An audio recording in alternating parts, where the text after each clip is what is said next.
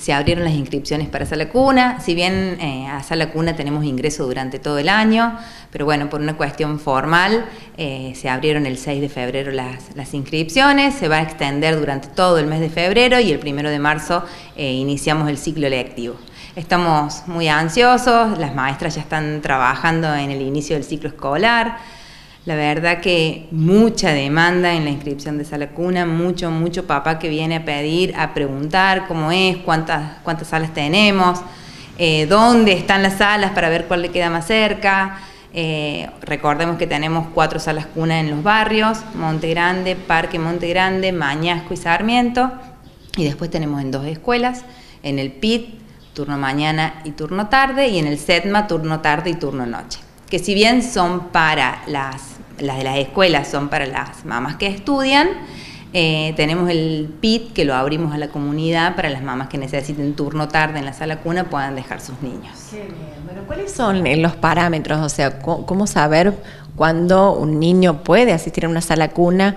Por ejemplo, y la opción no es un jardín maternal. Eh, ¿A quiénes abarcan? ¿Quiénes están en condiciones de ir?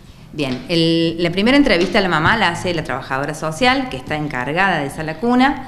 Eh, bueno, y ahí ve le hace un montón de preguntas. Está especialmente dirigida a los papás que trabajan y estudian para poder darle esa contención y ese cuidado al niño y que uno como mamá se quede tranquilo del, lugar que va a ir el, niño, ¿no? Eh, principalmente papás que trabajan y estudian. Muchos papás vienen a decirnos que quieren el espacio para poder salir a buscar trabajo. Así que se da ese lugar al papá y después se va haciendo un seguimiento. Sala Cuna trabaja con toda la familia y la verdad que hoy vemos que los precios de los jardines privados está altísimo y los papás no pueden llegar a, cubrir ese monto, así que creemos que por eso la, demanda es muy alta. ¿Qué edades abarca y eh, qué tiempo permanecen en la sala cuna? Las edades son de 45 días a 3 años y tenemos de 8 de la mañana, hay salas cunas diferentes, vamos preguntándole al papá cuál es el horario que más les conviene y llegamos a un acuerdo. Hay salas cunas que abren a las 8, otras 8 y cuarto, otras 8 y media, vamos viendo dependiendo la demanda. Tenemos de 8 a 12 por lo general, a 2 y media, y las de turno tarde son en el PIT tenemos de 5 a 9 y en el SEDMA de 3 de la tarde a 11 de la noche. Ese es el horario más extendido que tenemos. Recordemos que los niños en sala cuna desayunan, tienen colación y almuerzo y a la tarde tienen eh, colación, merienda y cena.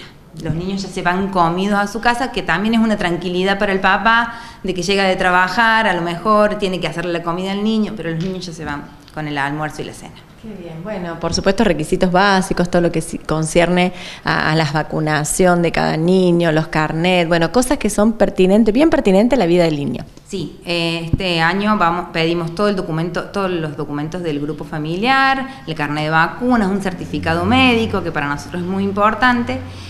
Y bueno, este año empezamos a, trabajar, ya lo empezamos el año pasado y este año vamos a, profundizar. Las maestras de sala cuna se capacitaron durante todo el año en lo que es pesquisa de desarrollo. ¿sí? Hicieron un curso de PREPRUNAPE, de IODI. ¿Para qué? Para que ellas puedan detectar en el niño algún trastorno del desarrollo porque en realidad el niño pasa muchas horas con las, con las cuidadoras, entonces está bueno que ellas puedan estar atentas a cualquier trastorno del desarrollo. Después, si la maestra detecta algo, tenemos todo un protocolo, se habla con la trabajadora social, con el pediatra del barrio, eh, y bueno, y después de eso se puede derivar el equipo de estimulación temprana que funciona en el centro pediátrico. Así que estamos muy contentos porque capacitar al personal para brindarle mejor atención a los niños para nosotros es fundamental. Y este año también vamos a trabajar en todo lo que es un protocolo de maltrato infantil, vamos a trabajar la ley 9944, eh, que bueno, creo que es, todo lo que es vulneración de derechos en niñas, niños y adolescentes, entonces preparar y formar a los docentes para que estén alertas a cualquier situación que puedan estar eh, pasando los niños.